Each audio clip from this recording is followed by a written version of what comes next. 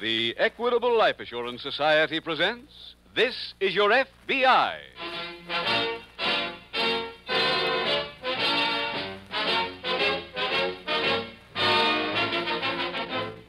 This is Your FBI, the official broadcast from the files of the Federal Bureau of Investigation.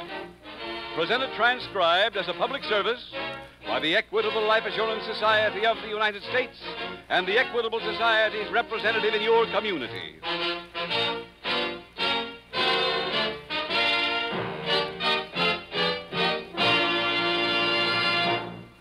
In the 30s and early 40s, most men and women ask themselves, What will I be doing when I'm 65 years old? well, that's largely up to you and the decision you make right now. Opportunity for an important decision will be offered to you in our middle commercial. It tells about the Equitable Society's Independent 60s plan. This plan means exactly what it says financial independence in your 60s. Listen carefully to this important message from the Equitable Society coming in about 14 minutes.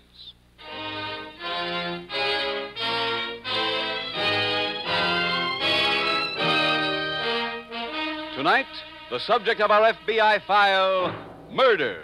Its title The Tribal Shakedown.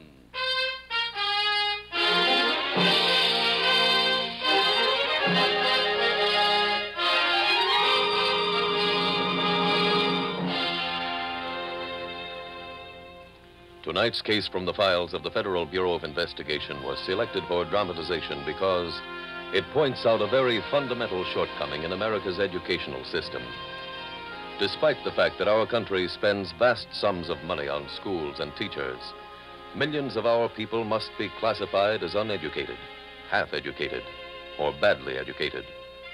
Among the ranks of the uneducated and the half educated, as you will see in tonight's file, criminals find some of their ideal victims, people who are an easy mark for this or that racket. From the ranks of the badly educated are recruited the criminals themselves. For we must realize that education is more than mere book learning. Any education worthy of the name must include intelligent instruction in the ideals of good citizenship. It must teach us respect for the law and moral integrity in dealing with our fellow men.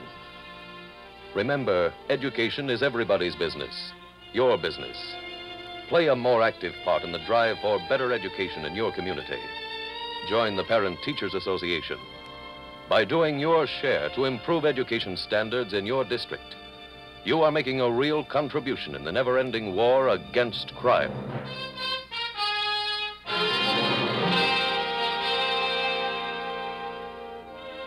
Tonight's FBI file opens on an Indian reservation in a western state. It is early morning as a young man enters the general store. He walks toward the long counter and greets the overalled, bewhiskered proprietor. Good morning. Oh, good morning, mister. I'd like to get some food. Mm-hmm. Uh, what kind? I guess I've got a little of everything on this list. Moving in around here? Only for a week or so. Well, I guess we can still have us a little chivalry to kind of make you welcome. Thanks very much. Yeah, been doing it every time we get you white folks in. I'm an Indian. Oh, go on now. My name's Dr. Watonga. well, what do you know? You know I never would have took you for one. I think maybe I better buy my groceries someplace else. Oh, now, Doc, now, now, you, you, you- don't think I meant no offense? Why, I, I was just, just trying to make you welcome. if I all. was white. Oh, why, if it was anything, why, you, you ask around you like. I got more Indian friends than I got white ones. Sure. Stark's my name, Floyd Stark. Indians got me another name, though. Man with a big heart. Cause I, you see, I, I give 'em so much credit. I see. now, uh, let's have that grocery list. Here. Where you living, Doc? I took a shack up in the hills on the old Washita property. Well, it's too bad you never got to meet Washita. He was my uncle. Oh? Oh, well, I guess you know about his accident last week, hmm? I came out for the funeral. First suicide we had in the county in years. Mr. Stark, you know a man named John Latimer? Mm-hmm. Why? My uncle mentioned his name in a couple of letters. Oh. He didn't like Latimer. Oh, I don't guess many do. You see, most folks are jealous of him. You know the way they are when anybody strikes it good. Uh, tell me, Doc, you got more shopping to do in town? Yes, quite a bit. Well, leave your list if you like. Time you get back, why, things will be ready. Thanks. It will save me some time. Uh, you say you'll uh, be here a week or two, Yes? and you'll uh, you'll be seeing John Latimer.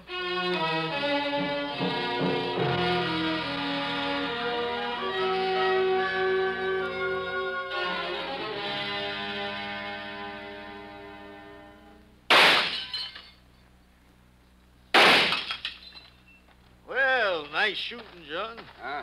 Oh, hi, Floyd. You know, there's a two-penny deposit on each of them bottles, you know. Eh. Think I can afford it? Oh, I guess maybe. Something on your mind? Yeah, yeah. Young fella come in the store this morning. Washita's nephew, he come out for the funeral. You know what he told me? Seems like the old man put your name in some letters that he sent the boy. What about it? Well, he was asking questions about you, and when he left the store, I hear tell that he was pulling around asking other folks.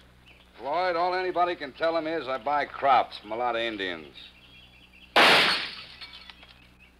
This boy's a doctor. Who? One I've been telling you about, Washita's nephew. Forget about him. Start thinking about Salazar. Not yet, John. You told me he owes you over a thousand dollars. Well, he does. But, uh, see, I, I'm for going easy. Why? Well, I like to wait till Washita's nephew stops being so, uh, so nosy. Floyd, last time I was in the city, I went to the circus. They had a tail there that wagged a whole dog. I think that's the place for that kind of thing, don't you? Huh? You got 10% of this business. I'm the 90. Get it? Oh, yeah, yeah. You just bring Salazar out here for some cough syrup.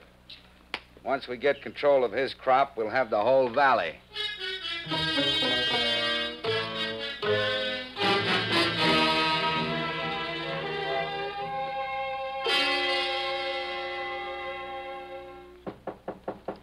Come in. Pardon me, I was looking for the district nurse, but I'm Miss Craig. Oh. I... I guess I expected somebody in a white uniform. Can I help you? I'm Dr. Watonga. Oh, hello. I've heard about you. Are you going to practice here? No, I'm in research. Indian life expectancy. Oh, Miss Craig, would it be much trouble to give me a typhoid shot? well, not at all. Let's go in the other room. Been here long? Two years? Like it? Very much. Well, thank you. By the time you get your sleeve rolled up, I'll have the needle ready. Uh, if you'd like to use this lab for anything, you're welcome to it. Thanks very much. I'll only be here this trip for a week or ten days. Oh, Maybe you can help me on some other research I'm doing, though. on what? A man named John Latimer. You see, Juan Washita was my uncle. The the Washita who committed suicide last week? Yes. He raised me. He sent me to medical school. I can't believe he'd have committed suicide. But the paper said he left a note. I know, I've got it. But I don't consider it proof. You see, I happen to know that Latimer has been stealing land from our people. My uncle tried to fight him. My uncle died. And, uh, now you're planning to fight him. Yes, I doubt that you'll get anywhere alone. I don't intend to. I've got to go into the city tomorrow for equipment. While I'm there, I'm going to tell this whole story to the FBI. Mr.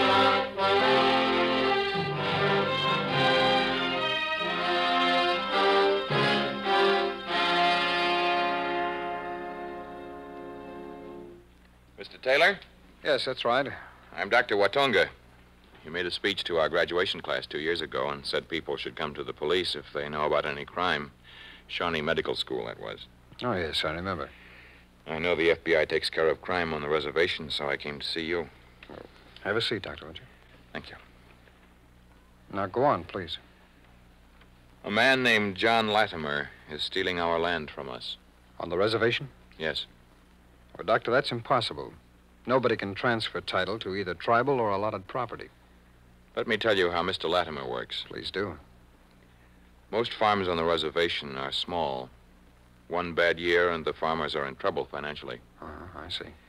About five years ago, a man named Floyd Stark bought the general store and extended easy credit to the people. They'd never known anything like that, and pretty soon a lot of them owed more than they could pay, no matter how big the crop was. Hmm. Then Stark demanded payment. None of them had any money, but he told them where they could borrow it. Where was that? From a man who moved into the reservation about the same time Stark did. That's this man named John Latimer. Uh-huh. Latimer lent them the money all right, but in return they had to sign a contract with him agreeing to let him buy their entire crops at any price he set. And they've been living up to the contract? Yes. One of the men he lent money to was an uncle of mine named Juan Washita. Last month, my uncle went to Latimer and told him that unless he paid a fair price this year, my uncle was going to organize the other farmers, and they'd all refuse to give Latimer anything. What was his answer to your uncle? Last week, my uncle was found dead. There was a gun in his hand and a suicide note on the table. Did you give any reason? Yes. The note said he was killing himself because he had advised his people to go back on their word, and that Mr. Latimer was a true friend of the Indians, and how my uncle felt he couldn't face the others anymore. Sounds like your uncle was rather a moral man. Yes, he was, but the thing I don't understand is I got a letter this morning that he wrote to me the same day he died. Now, didn't you say that was last week? Yes, he, he sent the letter to the hospital where I was working back east. No, I see. The letter is full of my uncle's future plans for fighting Latimer, and it doesn't sound like a man about to commit suicide. Hmm. Here's the suicide note. Thanks. And this is the letter. Look them over. Yes, I will, Doctor. My uncle was only one man, Mr. Taylor, and he's beyond help now, but the other farmers are still slaves of Latimer. Can't anything be done for them? Well, Doctor, I'll talk to my agent in charge. He'll put somebody on it. Would that be you? Maybe. Tell me, are you living on the reservation? Yes. I've just returned. All right. Call me late this afternoon, Doctor. By that time, I'll have some word.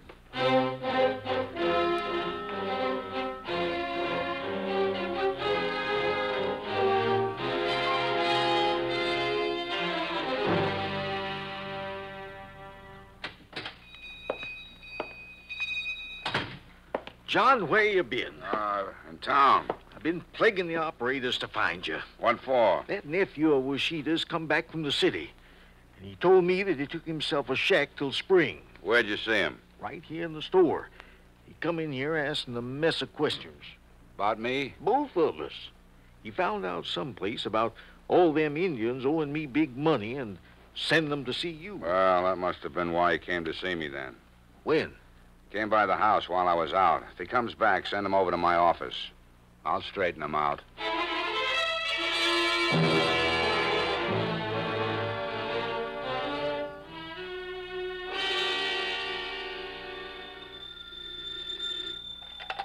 Special Agent Taylor. Dr. Watonga, Mr. Taylor. Oh, yes, Doctor, I've got some news for you. Will you be able to investigate Latimer? Well, not only him, but also your uncle's death. There's a chance he didn't commit suicide. What did you find? Well, I sent the suicide note and that letter he wrote you to our lab. The note is a forgery. And he was murdered. Maybe. In any event, it's enough to warrant having an autopsy performed. Mr. Taylor, Latimer's behind my uncle's death. I'm sure of that. Well, he's the number one suspect off of what you've told me. This doesn't sound like the work of an amateur. He isn't. Well, Washington reported they have no criminal record for anyone with that name. Of course, if we had his prints, we could pursue Would it help if I got them? Oh, can you? I'll try. Mr. Taylor, I've come across something else since I got back out here. Oh, what?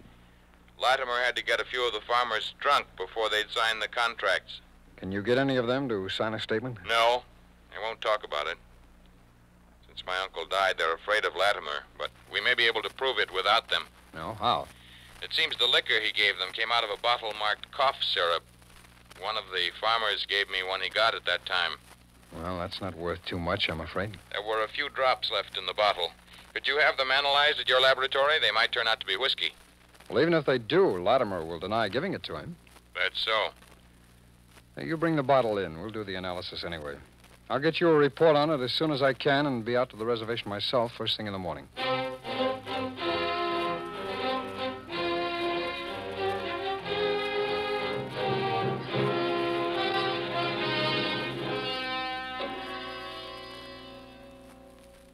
Mr. Latimer, That's right. I'm Dr. Watonga. Yes, Doctor, I understand you called at my house today. I did. Sorry I wasn't in. I wanted to get hold of you before this. Tell you how bad I felt about your uncle. It was quite a shock. Must have been. I got another one today. You remember the suicide note my uncle left? Very well. I got word a little while ago that he didn't write it. The note was a forgery. That's hard to believe. Mr. Latimer, I wondered if you could help me How? find the person who did write it. Why, I'd like to, but where would you start looking?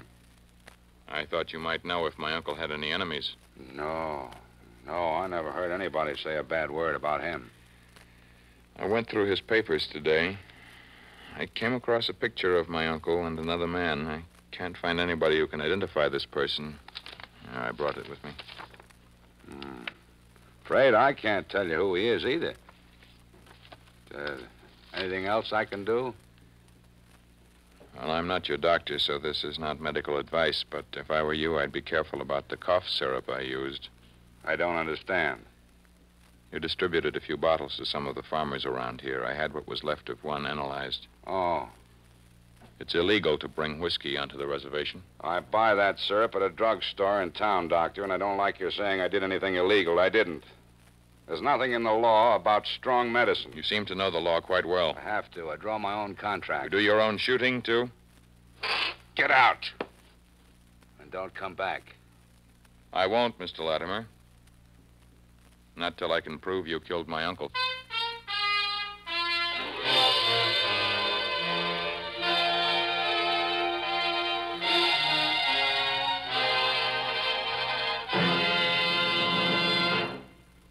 Return in just a minute to tonight's exciting case from the official file of your FBI. But now, listen. Those are check writing machines at the home office of the Equitable Life Assurance Society. Every month, checks go out to members who have paid up their Equitable Independent 60s plans. And here's Mr. Harvey Morris. You finished your payments last year, didn't you, Mr. Morris? That's so, Mr. Keating. I turned over my little store to my son. Now I've got nothing to do but have a good time. In other words, Mr. Morris, you're now cashing in on the three freedoms that go with an independent 60s plan. First, freedom from money worries and job worries, financial independence. Uh, Mr. Keating, I'm still a man who gives to charity. I'll never be on the receiving end. Second, with an equitable independent 60s plan, you're free to live anywhere you please. We're staying right in my old hometown, but we spend our summers up in the pine woods of Maine. Third, freedom to do the things you've always wanted to do. I guess I'm sort of an inventor, Mr. Keating. And now that I can give it my full time, I really am enjoying myself. If I come up with anything good, you know who can take a bow? My equitable man. He's the one who explained the independent 60s plan to me.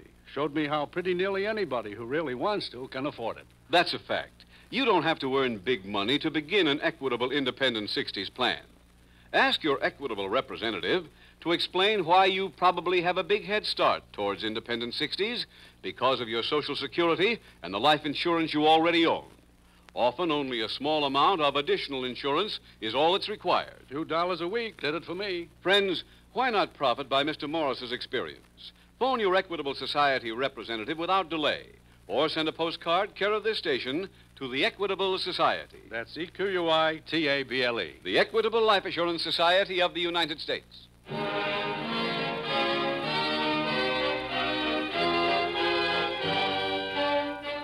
And now back to the FBI file The Tribal Shakedown.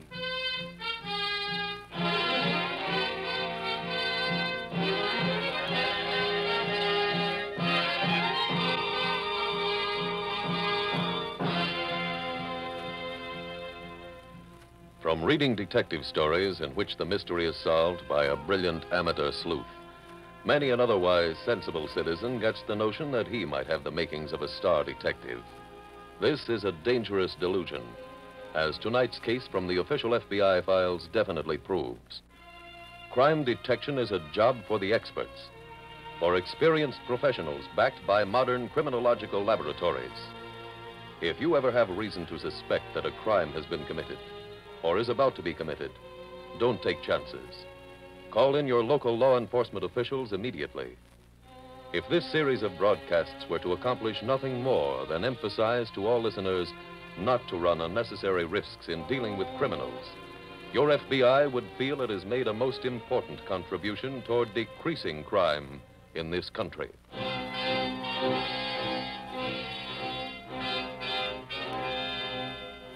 Tonight's file continues the following morning outside Dr. Watonga's cabin. Hello there, Doctor. Hello, Mr. Taylor. When did you arrive? Just got off the train. Came right out. I went to see Latimer yesterday. Well, after we talked? Yes. I told him about the suicide note forgery and asked him what he knew about it. He pretended to be shocked. I wish you hadn't told him. Why? Well, I wanted to get a sample of his handwriting. If he's on guard, that'll be a pretty tough thing to do. I'm sorry, Mr. Taylor. If he's in league with that man who runs the general store, uh, um, Floyd Stark? yeah, Stark. If they're working together, Latimer's undoubtedly warned him not to throw any handwriting samples around now, so. Hey, wait a minute. And Latimer must write on his checks if we find out where he keeps his account. Oh, in the City National Trust. Oh, how do you know? Farmers told me about getting their loans by check. Hmm. Well, I think I can get a court order to examine his account. Oh, uh, did you get his fingerprints? They should be on the picture in this envelope. I wiped it clean before taking it to his office. All right. I'll let the lab go to work on it. You going to check on Stark? Know where he keeps his account? I saw him coming out of the bank here yesterday. All right, I'll try to get an okay to check his records, too. When do you think you'll be back? Sometime tonight.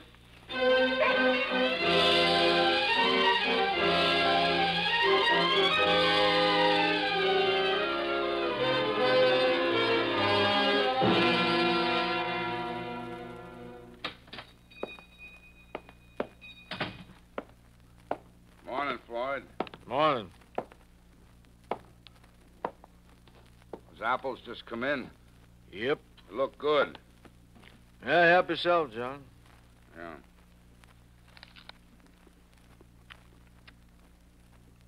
I want you to call the doctor tonight. Tell him you'll talk. Hey, John, now listen, I, I ain't in no mood for Call joking. him, call him. Tell him to come over here. You'll give him all the information he wants about me. But, uh, Tell him the place is locked, but the key's under the mat. As he's letting himself in, blast him. You want me to kill him? He can't prove anything if he's dead, can he? No. He'll still have the key in his hand. Your story is the place was locked. He got a key someplace and was breaking in. I want to hear from you tonight. And I want to hear the job's been done.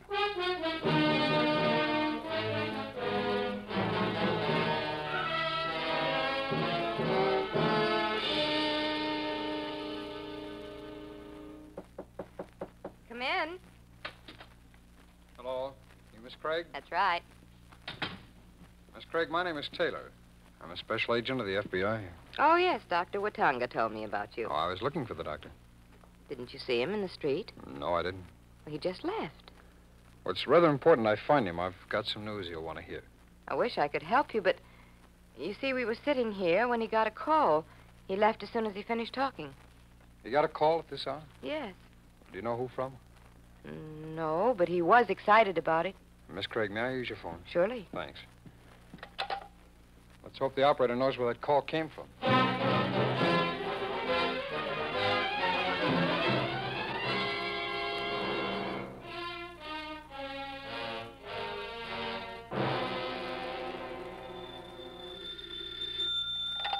Hello? That you, John? Yeah, Floyd. I did it. He dead? Good. Yeah. Come in that door and I let go. That's fine, Floyd. Now just call the sheriff's office, tell him what happened, and as soon as I hey, can John, listen, it'd, uh, it'd make me feel a heap better if you if you'd come by. come by the store, Yeah, I, I'd like you to be a witness. you don't need any witnesses. Now, John, listen, I'm I'm kind of shaky, and it's uh, it'd be better for you to to say that you was passing when it happened. All right, I'll be right there.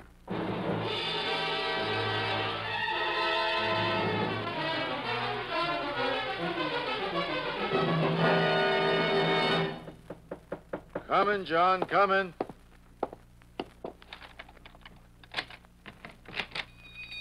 Come on in. Don't lock it. Oh? He unlocked it before you shot him, Floyd. Leave it that way. Let's go see the body. Uh, this way. Why'd you drag him back here? He didn't. Huh? You did mean my body, didn't you, Mr. Latimer? What is this? John, it, it ain't my fault. He's telling the truth. He was all set to kill me when I let myself in that front door, but a friend of mine learned that Mr. Stark was your partner. That's a lie. My friend found me just before I arrived here at the store. He told me this might be a trap. Yeah, and he, he so he, he came in the back way, surprised me, and took the gun. Then I persuaded him to tell me about my uncle's murder. And then you had him call me and brought me into the trap. That's right. Well, this gun says it won't work. Doctor, I'd like you to do some writing.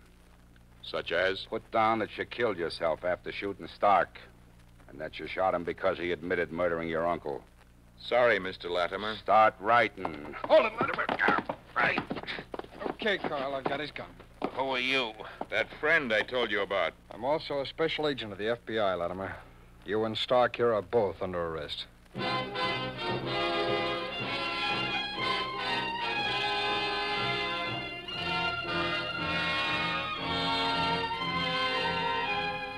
John Latimer was tried in federal court for murder on an Indian reservation and sentenced to a term of life imprisonment.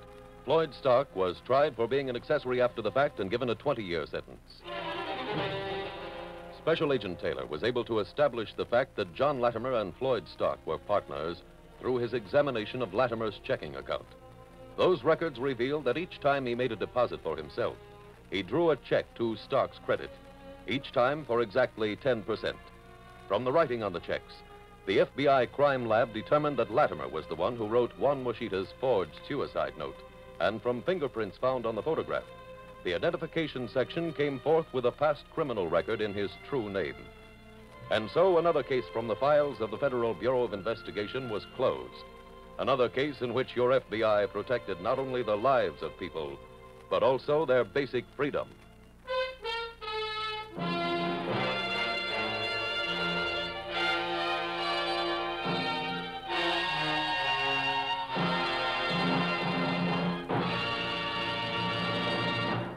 Now, two final questions on the cost of the Equitable Society's Independent 60s plan. Mr. Keating, I'm just 29 years old. Should I figure on starting one of these plans when I get to be about 40? No. Start right away, and your yearly cost will be much lower. Well, suppose my salary goes up as I grow older.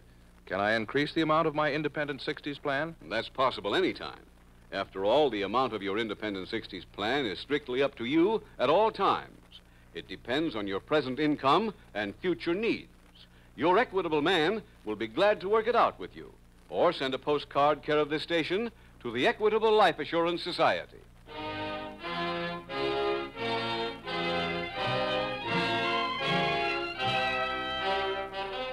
Next week, we will dramatize another case from the files of the Federal Bureau of Investigation. Its subject, hijacking. Its title, The Roaring Twenties. The incidents used in tonight's Equitable Life Assurance Society's broadcast are adapted from the files of the Federal Bureau of Investigation.